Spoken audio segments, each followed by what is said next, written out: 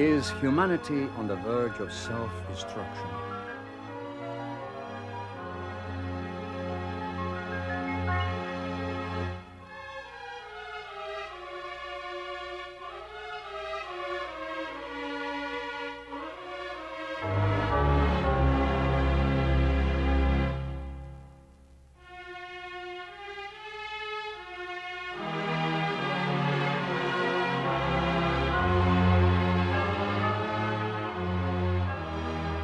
Is there hope for our future?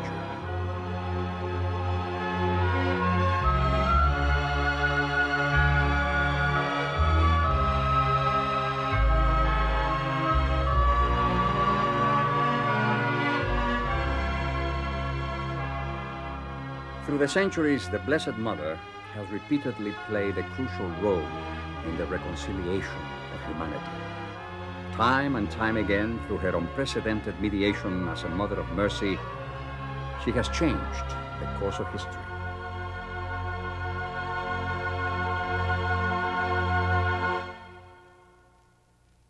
The 20th century is no exception, with over 300 apparitions reportedly taking place all over the world. She comes armed with a peace plan for the world beginning in the 20th century with Fatima, Portugal.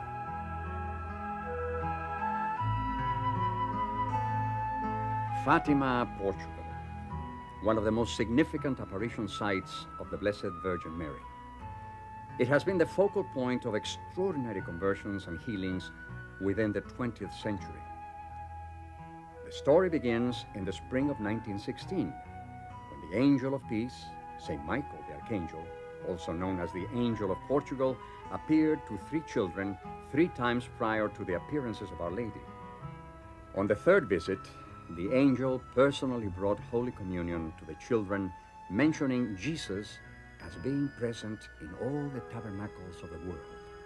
During the following year, 1917, Our Lady appeared six times to the children, beginning on May 13th, asking them to come to the sheep pasture on the 13th of each month until October. Lucia dos Santos, aged 10, was the eldest of the three, who, along with her cousins Jacinta Marto, aged 7, and Francisco Marto, aged 9, witnessed the apparitions. It was on July 13, 1917, Our Lady gave a prophetic and solemn warning for the world. She asked for the consecration of Russia to her Immaculate Heart. If my wishes are fulfilled, Russia will be converted, and there will be peace. If not, then Russia will spread her errors throughout the world, bringing new wars and persecutions of the Church. The good will be martyred, and the Holy Father will have much to suffer. Certain nations will be annihilated, but in the end, my Immaculate Heart will triumph. The Holy Father will consecrate Russia to me, and she will be converted, and the world will enjoy a period of peace.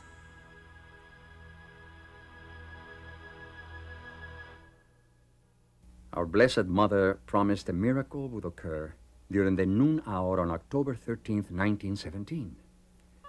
An estimated 70,000 people crowded into the sheep pasture drenched by the rains.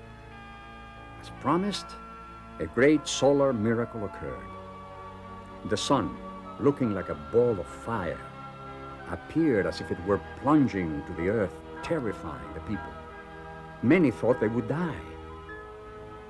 After 12 minutes, the sun reverted to its normal position. The mud-soaked ground and the clothing of the people dried instantly. The solar phenomenon was a sign of great magnitude given by God. It confirmed the gravity of the messages given by Our Lady of Fatima.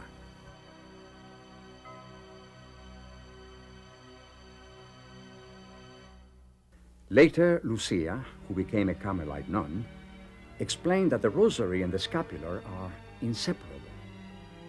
Our Lady wants everyone to wear the bronze scapular and to pray the rosary every day. Fatima was the first apparition site to be approved by the Catholic Church within the 20th century. What messages did Our Lady impart to the children and to the world at that time? There are four significant message points. First, daily duty, living chastely according to one's state in life. Second, prayer, particularly to pray the rosary. Third, Eucharistic reparation, communions of reparation on the first five Saturdays. Fourth, consecration to the Immaculate Heart of Mary, along with wearing the brown scapular. Have we fulfilled the requests of the Blessed Mother? If not, shouldn't we begin now? With an increasing urgency, Our Lady has come again in other places to repeat the same message.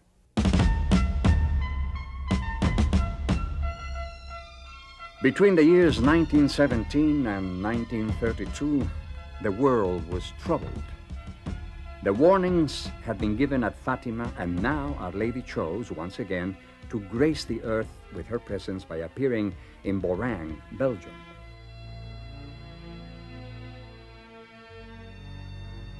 Known as the Virgin with a Golden Heart, Our Lady appeared 35 times between November 29, 1932, and January 3, 1933. Five children saw Our Lady during this time in which the message of Fatima, one of prayer, sacrifice, and devotion to the Immaculate Heart, was emphasized. As mediatrix of all graces, Our Lady promised to convert sinners. She also specifically requested a chapel to be built for pilgrims. Beauraing was the second apparition site to be approved within this century. It was in Beauraing that the Blessed Virgin Mary reminds us of her reign in heaven as Queen, our merciful Mother. Just when the apparitions of Beauraing had ended, Our Lady appeared again in Belgium, this time in Banneux.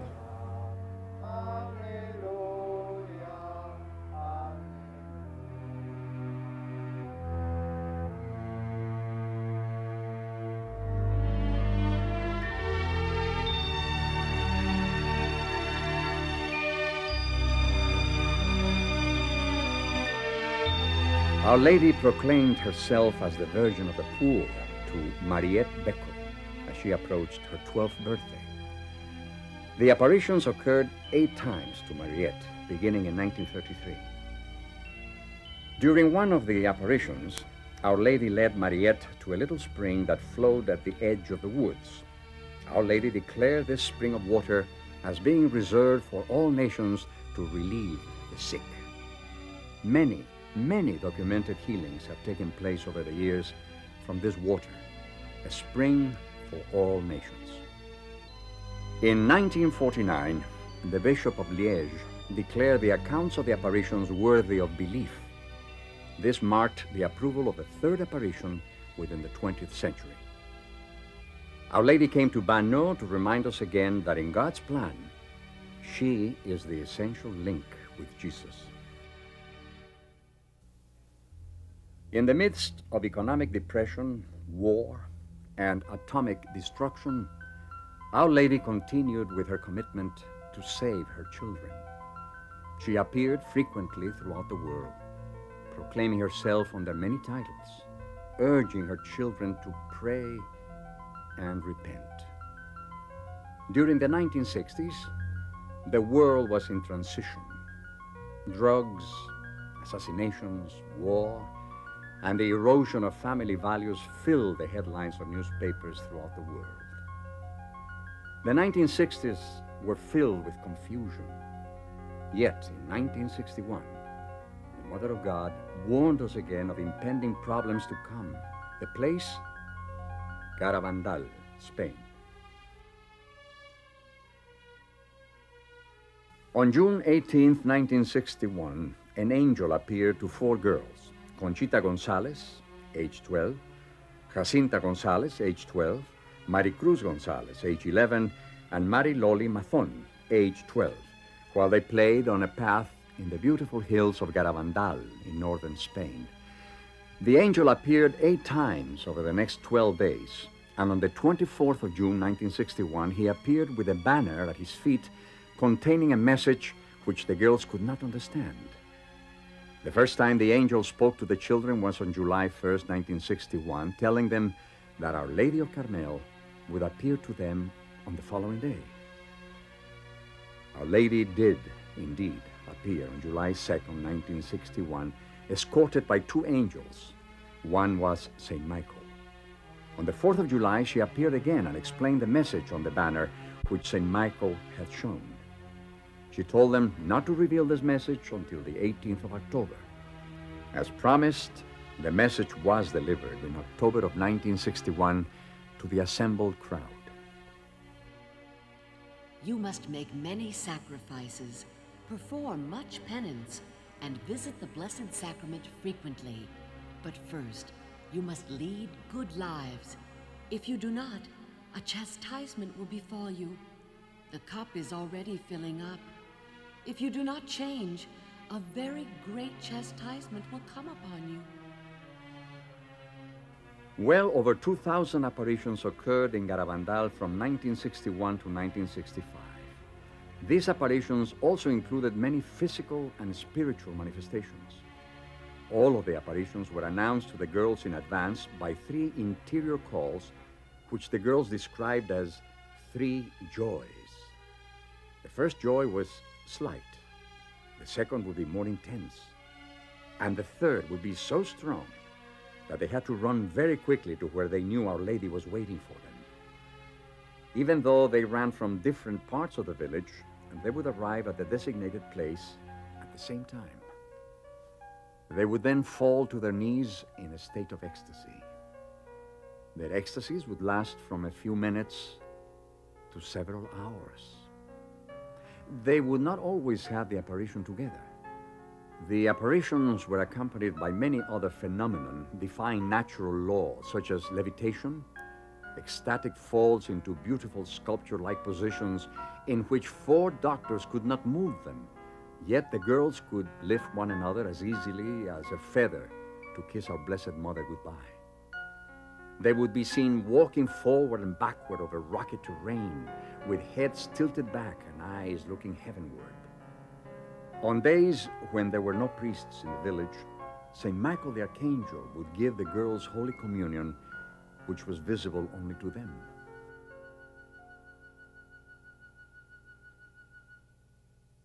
On July 1962, a significant phenomenon took place between Conchita and the Archangel Michael. This miracle was prophesied two weeks in advance. Conchita received a visible communion host on her tongue from the archangel, witnessed by hundreds of people. This miracle was chosen to call our attention to the reality of the true presence of our Lord in the Eucharist. The final message of Our Lady was delivered by St. Michael to Conchita on June 18, 1965. As my message of October 18th has not been complied with and has not been made known to the world, I am advising you that this is the last one. Before, the cup was filling up. Now, it is flowing over. Many cardinals, many bishops, and many priests are on the road to perdition and are taking many souls with them. Less and less importance is being given to the Eucharist. You should turn the wrath of God away from yourselves by your efforts. If you ask his forgiveness with sincere hearts, he will pardon you. I, your mother, through the intercession of Saint Michael the Archangel, ask you to amend your lives. I love you very much and do not want your condemnation. Pray to us with sincerity, and we will grant your requests. You should make more sacrifices. Think about the passion of Jesus. Visionary Jacinta Gonzalez Moynihan shares her insight on the messages. In my own personal life, the messages have increased my faith. They have helped me spiritually with the praying of the Rosary and my family life. The apparitions help to increase the spirituality and faith of the people in the village. Our Lady did not come just for the people in the village of Garabandal, but rather she came for the whole world, for all of mankind. The basic elements of Garabandal are the Eucharist and the priesthood. The Blessed Mother stressed the significance of the Rosary, the need to pray for priests, and above all, obedience to the Church. Garabandal also prophesizes four supernatural events to take place in the future. First, a celestial worldwide warning.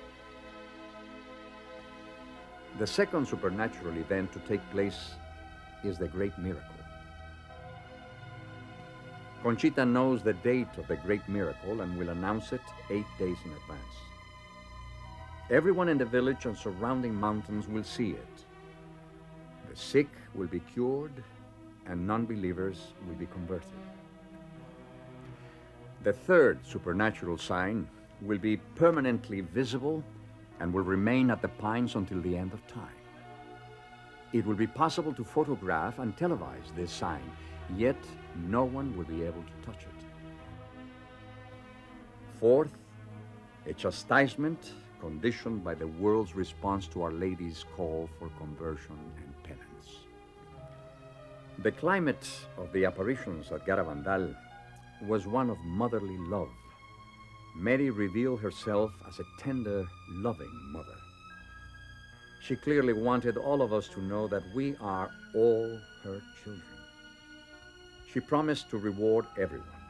However, she said obedience to the church must always come first because this gives more honor and glory to God. A new investigation of Garabandal was appointed again in 1986, instituted by Bishop Del Val of Santander.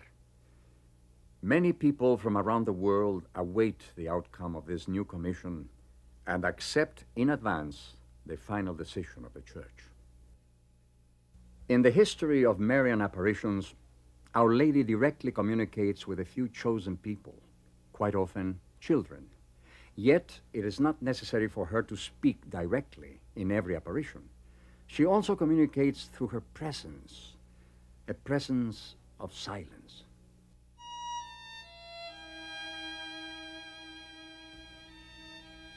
On the eve of April 2nd, 1968, Our Lady appeared as a radiant light atop St. Mary's Coptic Orthodox Church.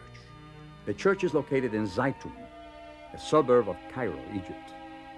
There is a popular legend or belief that Joseph and Mary passed by Zaytun when they fled from Herod's persecution to safety in Egypt. Often holding an olive branch and sometimes a cross, Our Lady was seen moving among the domes of the church. At other times, she was bowing before the cross or blessing the people below. People of all classes, occupations, and religions saw her in different forms or postures. Her appearance always being public and witnessed by all people present, believers and unbelievers. We even had our servant, and she doesn't understand anything in Christianity. And she was jumping up and down because she saw her, and it's like you feel all the chills. You know, it's not like um, a simple thing. It's really very, very touchy, and uh, your whole body is different, and you start. Cry- you don't know what you know. If you're crying, you're uh, screaming. You don't know what to do. And the girl started. You know, she was 17, 18 years old, and we started asking her. Maybe we are not seeing right. And we told her, "What are you seeing?" And she said that uh, she's seeing a lady with a she didn't even know the halo, but she said with a crown full of bu- uh, light bulbs, because that's how bright she was. And um, she, we saw her like in a frame, like in a picture, and then the standing as a whole with fluorescent light. She was very neat. On many occasions, she was reportedly seen appearing in many different shapes and surrounded by a multitude of colors. The appearances were also accompanied by miracles of healing which have been verified and documented by a commission of physicians and scientific professors. On May 5th, 1968, the Coptic Church issued a statement through the papal office of Patriarch Kyrillos VI, declaring the Blessed Virgin Mary has appeared several times on the Coptic Orthodox Church named after her at Zaytun in Cairo. The apparitions continued for over two years, occurring two or three times each week, most frequently on feast days or eves of feasts. Her visits lasted from only a few minutes up to eight hours. The crowds grew to an estimated quarter million people. Among these witnesses were Orthodox, Catholics, Protestants, Muslims, Jews, and non religious people from all walks of life. Dr. Venice Khalil, an eyewitness to the apparitions, expresses her confirmation of the events. Well, I am a doctor, and what I have seen in, in Zaytun, I believe. And I can't explain it to medicine or science. There were a great number of miracles and healings and conversion of faith. It was reported at times white or golden luminous doves hovered around the figure of Our Lady at night, flying at great heights and then suddenly just disappearing. This is certainly an unusual phenomenon since doves do not fly at night. The doves appeared before, during, and after Our Lady's appearances. Another phenomenon associated with the Zaytun apparitions was the presence of incense smelling smoke, described by one of the bishops as a fragrance as great as it from a million censers. Although no words were spoken, she imparted a powerful message to her children.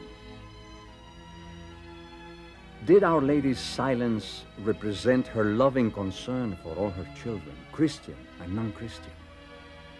The fruits bear witness to her powerful presence.